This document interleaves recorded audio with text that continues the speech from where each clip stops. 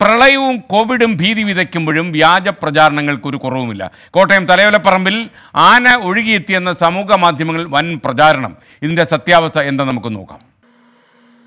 മൂവാറ്റുപുഴയാറിൽ വെട്ടിക്കാട്ടുമുക്ക് പാലത്തിന് സമീപം ആന ഒഴുകിയെത്തി എന്നായിരുന്നു വ്യാജ പ്രചാരണം. ഇതിനൊപ്പം വീഡിയോയും എത്തി.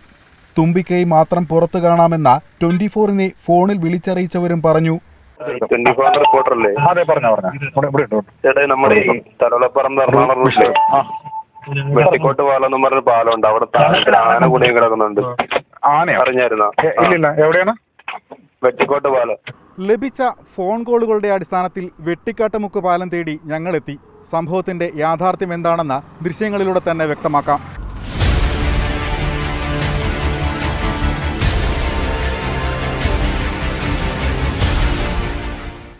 കരയിൽ നിന്ന തലപോയ തെങ്ങ് എങ്ങനെ വെള്ളത്തിലെത്തിയെന്ന പ്രദേശവാസി തന്നെ പറയും.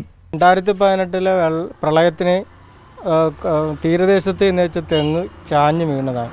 ചാഞ്ഞ് വീണ് ഇപ്പോൾ വെള്ളത്തിന്റെ പണ്ടൊക്കെ ഒരുപാട് വള്ളങ്ങളുണ്ടായിരുന്നു. ഇപ്പോൾ വള്ളങ്ങളില്ലാത്തവന്റെ സർവീസ് ഇല്ലാത്തവന്റെ അങ്ങനെ കടന്നു പോയതാണ്. ആ അടുത്ത് തന്നെ കാണുന്ന വീട്ടുകാരുടെയാണ് ആ സാധനം. കേരളത്തിൽ മാൻകൂട്ടം വെള്ളത്തിൽ ഒഴുകി വന്നു എന്ന തരത്തിലടക്കം നേരത്തെ വീഡിയോകൾ വന്നിരുന്നു. ഇതിന് പിന്നാലെയാണ് തെങ്ങിൻ തലപ്പിനെ തുമ്പിക്കൈയാക്കിയുള്ള പ്രചാരണം.